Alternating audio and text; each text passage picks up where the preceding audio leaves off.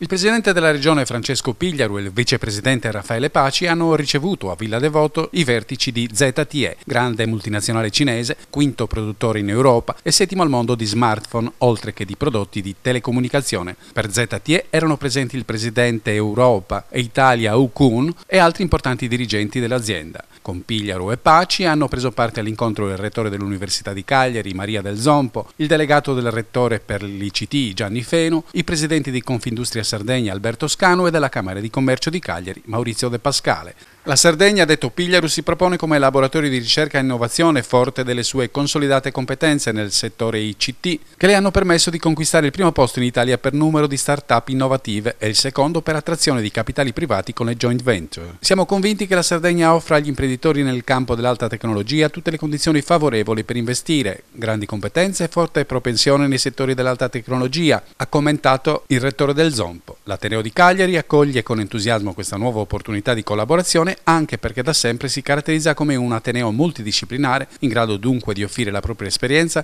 sia nel settore di ricerca ICT sia negli altri campi che dovessero interessare i nuovi partner. D'altra parte l'Università di Cagliari ha già solidi e pregressi rapporti con le istituzioni cinesi.